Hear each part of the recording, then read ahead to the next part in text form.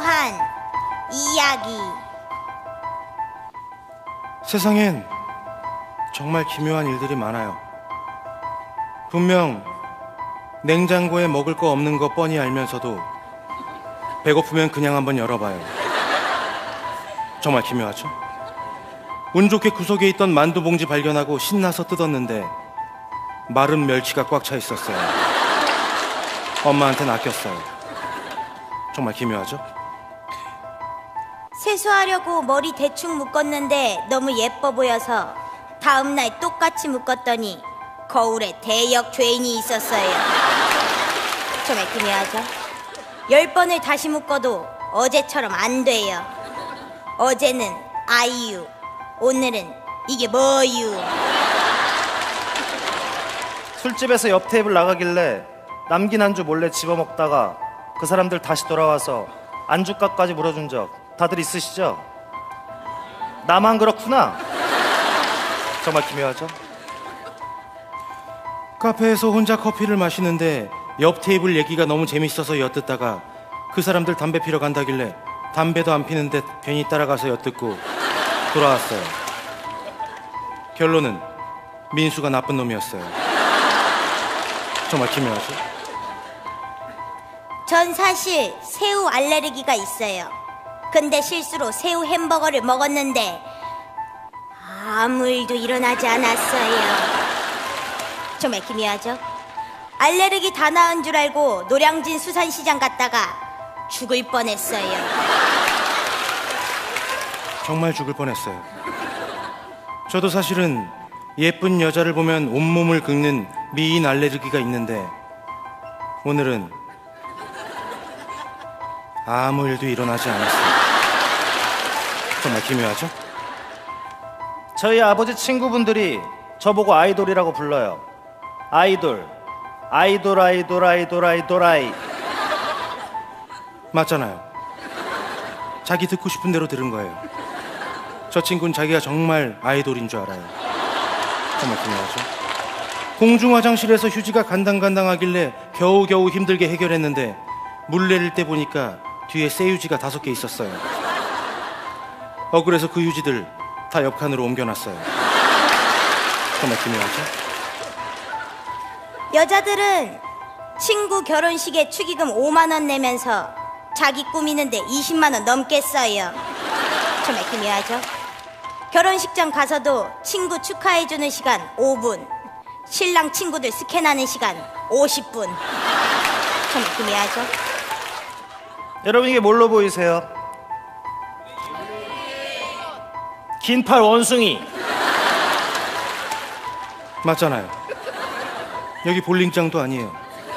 아까 말했죠. 저 친구 아이돌 아이돌 아이돌 아이예요. 생각해보면 옛말도 기묘한 게 너무 많아요. 자식 이기는 부모 없다는데 아빠가 유단자예요. 유도 합기도 태권도 합의 12단. 아빠가 자식한테 완승을 거뒀어요. 정말 기묘하죠. 뱁새가 황새 쫓아가다 눈 맞아서 썸 탔어요. 요즘 따라 내 거인 듯 내 거 아닌 내 거 같은 뱁새. 정말 기묘하죠? 요즘 드라마에서 다중인격 캐릭터가 인기를 얻고 있어요.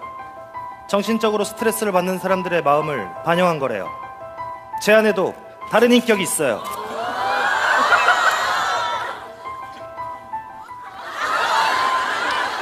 못생긴 것들아!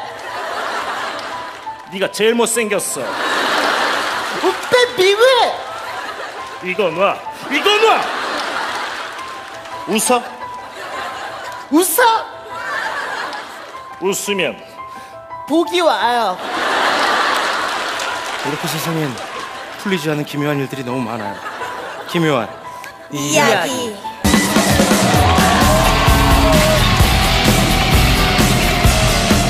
듣고 돌아왔어요. 결론은 민수가 나쁜 놈이었어요. 정말 기묘하죠? 전 사실 새우 알레르기가 있어요. 근데 실수로 새우 햄버거를 먹었는데 아무 일도 일어나지 않았어요. 정말 기묘하죠? 알레르기 다 나은 줄 알고 노량진 수산시장 갔다가 죽을 뻔했어요. 정말 죽을 뻔했어요. 저도 사실은 예쁜 여자를 보면 온몸을 긁는 미인 알레르기가 있는데 오늘은 아무 일도 일어나지 않았어요. 정말 기묘하죠? 저희 아버지 친구분들이 저보고 아이돌이라고 불러요. 아이돌. 아이돌, 아이돌, 아이돌, 아이돌, 아이. 맞잖아요. 자기 듣고 싶은 대로 들은 거예요. 저 친구는 자기가 정말 아이돌인 줄 알아요. 정말 기묘하죠? 공중 화장실에서 휴지가 간당간당하길래 겨우겨우 힘들게 해결했는데 물 내릴 때 보니까 뒤에 새 휴지가 다섯 개 있었어요. 억울해서 그 휴지들 다 옆칸으로 옮겨놨어요. 정말 기묘하죠? 여자들은 친구 결혼식에 축의금 5만 원 내면서 자기 꾸미는데 20만 원. 좀 어유. 술집에서 옆 테이블 나가길래 남긴 안주 몰래 집어먹다가 그 사람들 다시 돌아와서 안주값까지 물어준 적 다들 있으시죠? 나만 그렇구나. 정말 기묘하죠? 카페에서 혼자 커피를 마시는데 옆 테이블 얘기가 너무 재밌어서 엿듣다가 그 사람들 담배 피러 간다길래 담배도 안 피는데 괜히 따라가서 엿듣고 돌아왔어요. 결론은 민수가 나쁜 놈이었어요. 정말 기묘하죠? 전 사실 새우 알레르기가 있어요.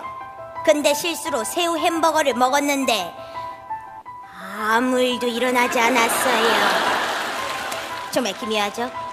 알레르기 다 나은 줄 알고 노량진 수산시장 갔다가 죽을 뻔했어요. 정말 죽을 뻔했어요.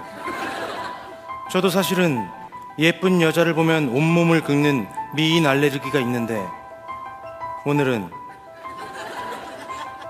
아무 일도 일어나지 않았어요. 정말 기묘하죠? 저희 아버지 친구분들이 저보고 아이돌이라고 불러요. 아이돌. 아이돌, 아이돌, 아이돌, 아이돌, 아이. 맞잖아요. 자기 듣고 싶은 대로 들은 거예요.